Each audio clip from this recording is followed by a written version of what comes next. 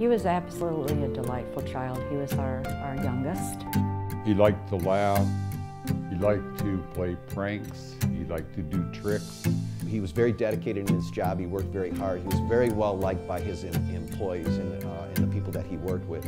He would often sit in his car and smoke as he chatted and played games with his kids. I saw somebody jump up from behind Jeff's car. He's not clearly visible, but he's got a black hood on and all black clothes. And suddenly he takes off across the front of the garage. She went around the vehicle where she saw her son Jeff had collapsed, having been fatally shot.